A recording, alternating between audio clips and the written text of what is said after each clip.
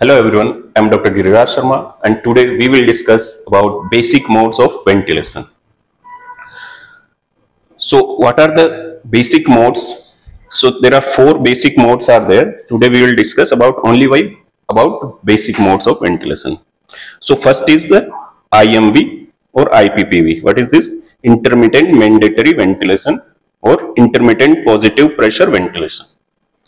Second is SIMV, synchronized intermittent mandatory ventilation.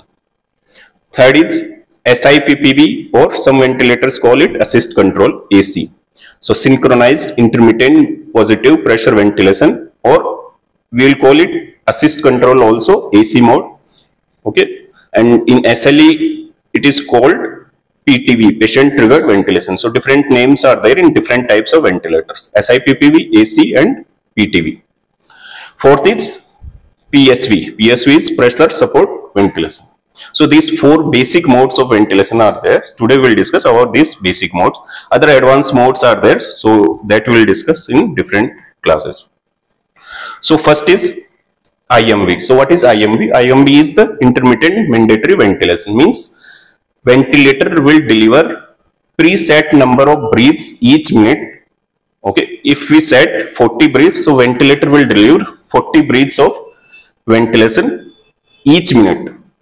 It will not bother about patient breaths. So baby is breathing at 60 or 70 or 50. This ventilator will not bother about it. It will deliver the preset number of breaths. And that also is not synchronized with the baby. So sometimes what will happen, there will be fighting between baby and ventilator. Baby is trying to expirate and that time ventilator is giving inspiration. So there is asynchrony between baby and ventilator. So this mode is not used nowadays. IMV mode is not used nowadays. So what are the drawbacks of IMV mode? First is that asynchrony. There will be fighting between, between baby and ventilator. That will cause increased airway pressure. That will increase risk of pneumothorax and IVH and sometimes maybe we'll need sedation also. So these are the drawbacks of this IMV mode. And what are the settings we have to do in IMV mode? So four set first is PIP we have to set in IMV mode, PEEP we have to set, I time we have to set, FiO2 we have to set, these and we have to set and weaning we have to wean PIP and rate. So this is the first mode IM. Then coming to SIMV, generally most commonly used mode is SIMV mode of ventilation. So this is synchronized intermittent mandatory ventilation. Means ventilator will deliver preset number of breaths each minute and these breaths ventilator will try to synchronize with baby. Okay. So baby also is breathing, ventilator also is giving. So ventilator will try to synchronize ventilator breathes with the baby's breath. Okay. So ventilator will wait for some time for baby to take breath and if baby is taking breath then that time ventilator will de deliver. That is called the window period, trigger window. In that trigger window if baby is taking breath then ventilator will synchronize with that. If baby is not taking breath in the trigger window then ventilator will deliver its mandatory breath. Okay. So the ventilator, if we set 40 breaths, so ventilator will support only the 40 breaths. That extra breaths, if baby is taking, if baby is taking 60 breaths, that extra 20 breaths are not supported by the ventilator. Okay, that is the in SIMV mode. So if 40 breaths will be supported and synchronized, baby will ventilator will try to synchronize with baby but extra if baby is taking more than 40 that extra breath will not be supported by the ventilator. Okay. What are the settings we have to set in the SIMV mode? PIP we have to set PEEP we have to set I time we have to set FiO2 we have to set and one more setting is the trigger. Trigger sensitivity also we have to set in SIMV trigger trigger is the how we we have to how we detect the baby's spontaneous breaths that is the trigger. Because we have to synchronize with the baby. So trigger sensitivity also we have to set. Here in Draeger ventilation here it is 1 to 10 if we want to set higher sensitive then we have to set like 1 and less sensitive is around 10. So this is the trigger sensitivity we have to set in SIMV mode. Then coming to what are the benefits of the SIMV mode? So benefits that it is a synchronized mode. So here is better synchrony between baby and ventilator. There is less fighting between baby and ventilator, less need of sedation. There is, it will reduce the mean airway pressure also, reduces the risk of IVH and pneumothorax. So these are the benefits of the SIMV. Then coming to how to wean the SIMV mode of ventilation. For weaning, we have to wean the FiO2 as usual we will wean and PIP and rate. PIP and rate both we have to wean the SIMV mode during weaning. Okay. So this is the SIMV mode. Now coming to what are the drawbacks of the SIMV mode of ventilation. So first drawback is that this will this is not supporting all the baby's breath. SIMV will support only the preset of ventilation other breaths are not supported. So other breaths baby has to take its own and that also with the ET tube. That will increase the work of breathing and that will cause respiratory fatigue for the baby. Okay? And this will cause the fluctuation in the tidal volume also because the supported breath tidal volume will be higher and breaths that are not supported with ventilator that tidal volume will be low. So there will be fluctuation in the tidal volume. So this is the drawback of the SIMV mode of ventilation. So next mode is the SIPPV or assist control mode of ventilation. It is called PTV also. So what is the assist control mode of ventilation? Assist control mode of ventilation will support all the breaths of the baby is taking. If baby is taking 50 breaths, ventilator will give 50. If baby is taking 70 breaths, ventilator will deliver 70 breaths. So here rate is decided by the baby. So all the breaths are supported in the assist control mode of ventilation. So assist control has two parts, assist and control. Assist means all the breaths are supported if baby is breathing. But sometimes if baby is not breathing or there is no spontaneous efforts of the baby, then control part will work and ventilator will deliver the backup rates, preset number of the backup rates. So here we have to set the backup rates if baby is not breathing, then ventilator will deliver that number of the breaths. Like if we have set 40 backup rate, then 40 breaths will be delivered.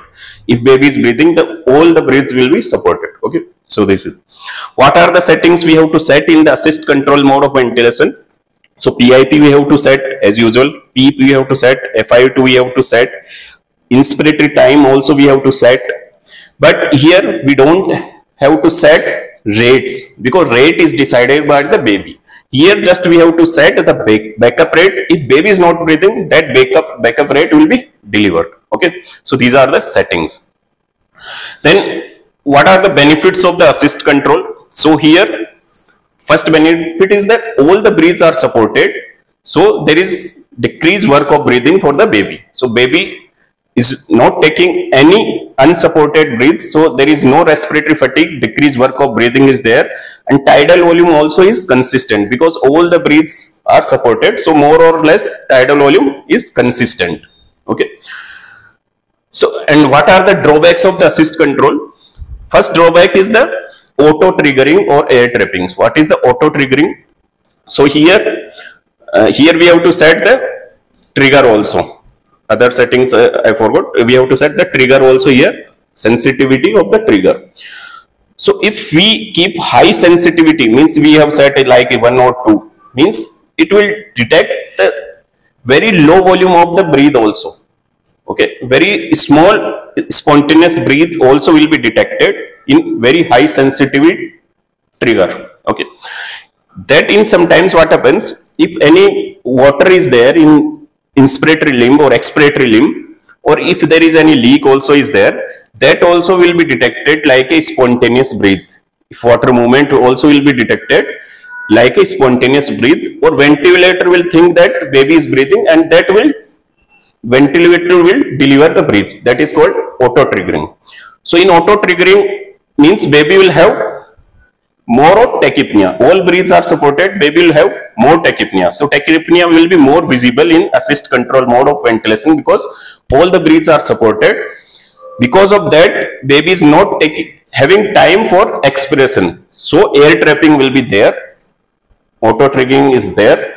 And because of the tachypnea, CO2 washout could be there and baby will have hypocarbia. So these are the drawbacks of the assist control mode of ventilation. Now coming to the weaning, how to wean in assist control mode of ventilation. So in assist control, we have to wean the PIP, FiO2 we have to wean, but here no meaning of weaning the rates because rate is decided by the baby. So that rate is the only backup rate. Rates we don't have to wean the rate. If you are reducing rate also that you are reducing the backup rate. So there is no point of reducing the rates in the assist control mode of ventilation. So how much backup rate we should set in the assist control? Just below the spontaneous rates of the baby. If spontaneous rate is 60, then we can set like 50 to 55. If spontaneous rate is 50, we can set 40 to 45. So just below the spontaneous rates of the baby we have to set because we have to trigger, we should allow the baby to trigger the breathe. We should not give, we should not set more than the spontaneous breaths. Okay, this is the assist control mode of ventilation. PSV mode, pressure support ventilation. So what is pressure support ventilation? In PSV mode, all the breaths are supported. Like assist control, here also all the breaths are supported. Babies taking all the spontaneous breaths will be supported by the ventilators. Then what is the difference between assist control and PSV mode? So assist control is time cycled and PSV mode is flow cycle. What is the flow cycling? So flow cycling is means during inspiration there will be the peak flow and then it will flow will be reduced. And when it flow is 15 to 20 percent of the peak flow that time cycle will change to expression okay? In other modes what was happening? There was we were setting fixed inspiratory time. For that inspiratory time inspiratory flow will be delivered inspiration will be delivered for that inspiratory time. But there is we are not setting in psv mode we are not setting any any inspiratory time. It is flow cycle means when flow is remaining 15 to 20 percent of the peak flow that cycle will change to the expression. Okay? So this is the flow cycle mode of ventilation. It is a we call it is spontaneous mode of ventilation also because this is here baby is breathing just ventilator is supporting all the breath slightly otherwise baby is breathing this mode we generally we use during recovery phase when baby is having good spontaneous respiratory efforts. Then only we use. That's why we call it spontaneous mode of ventilation also. Then coming to what are the settings we have to set in the PSV mode. So we have to set the PIP, we have to set the PWP, FiO2 we have to set, but we don't have to set the rates because rate is decided by the baby. And in PSV mode there is no backup rate also. Okay in assist control there was backup rate was there. If baby is not breathing the backup rate will be delivered. But in PSV mode there is no backup rate. Then what will happen if babies goes for apnea? That's why we are using in recovery phase when spontaneous efforts are good. But still if babies goes for apnea then what will happen then ventilator will go in apnea mode. Okay ventilator will go in apnea mode. And then in this apnea mode what are the rates are set that will be delivered to the baby. Okay? That is the PSV mode. Next setting is the I time or inspiratory time. In PSV mode we don't set the I time. There is no need to set inspiratory time or I time also because it is not time cycle it is flow cycle so we don't set any inspiratory time here. Okay then coming to what are the benefits of the PSV mode so here all the breaths are supported so there will not be any respiratory fatigue for the baby. Tidal volume will be more consistent in this PSV mode. Okay.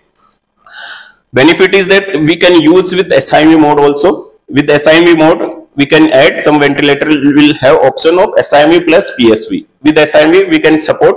So what will happen? That extra breaths that SIMV was not supporting, that breaths will be supported by the PSV mode. So there will not be respiratory fatigue to the baby. Okay.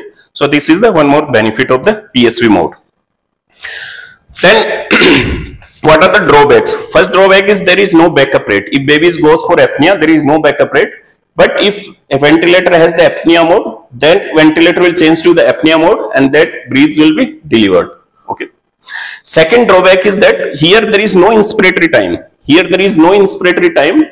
So it is flow cycle and in flow cycling, inspiratory time will be less for the baby. So it will reduce the mean airway pressure because there is baby is getting less inspiratory time because of the flow cycling. It will before coming to baseline it will convert to the expression. So inspiratory time baby is getting less. So mean airway pressure will reduce. Because of that baby can go in atelectasis. So we have to give adequate PWP to prevent that atelectasis. Okay. So in PSV mode synchrony is better because it has expiratory synchrony also in assist control mode only inspiratory synchrony was there but there is no expiratory synchrony in assist control mode but here because of the flow cycling expiratory synchrony also is there because ventilator is going in expiration with the baby when baby is going in expiration ventilator also is going in expiration so in better synchrony both inspiratory synchrony and expiratory synchrony both are there in the PSV mode of ventilation. Now coming to weaning of the PSV mode, how to wean the PSV mode. So in PSV mode, we have to wean the PIP, but no point of weaning the rates because rates are decided by baby. So only PIP we have to wean and FiO2 we have to wean. Okay. So this is the PSV mode, spontaneous mode of the ventilation. So these were the four basic modes of ventilation. In next video, we will discuss advanced mode of ventilation. Thank you so much.